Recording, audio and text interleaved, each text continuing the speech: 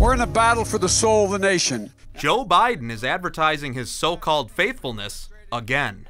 In a campaign video released on Sunday, the Democrat presidential hopeful reflected on his visit to the Vatican. I uh, just walked out the side door of St. Peter's Basilica after a meeting and getting an opportunity to shake hands and have a brief conversation with Pope Francis. Noting what he thinks it means to be a Catholic. We are a brother's keeper. We have an obligation. I think that's the way, the only way we're going to make the world better and safer. The ad was in response to President Trump painting Biden as anti God on numerous occasions. No religion, no anything. Hurt the Bible, hurt God. Biden claims to be a Catholic, but his views on abortion and gay marriage among other issues, say otherwise. I support a woman's right to choose. I support it's a constitutional right.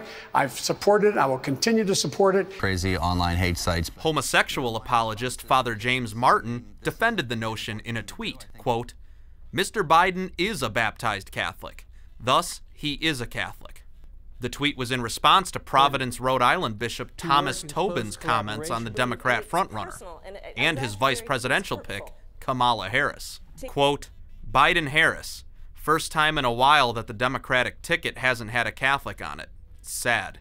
Harris is a concern to faithful Catholics because not only has she demonstrated an antipathy towards Catholicism, as when she grilled federal judge nominee Brian Buescher regarding his membership in the Knights of Columbus, saying, quote, Since 1993, you have been a member of the Knights of Columbus, an all male society.